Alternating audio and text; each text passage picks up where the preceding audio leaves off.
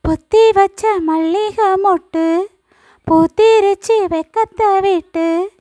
பொத்தி வச்ச மல்லிகை மொட்டு பூத்திருச்சு வெக்கத்தை விட்டு. பேசி பேசி ராசியானதே. மாமன் பேர சொல்லி சொல்லி ஆளானதே. ரொம்ப நாள்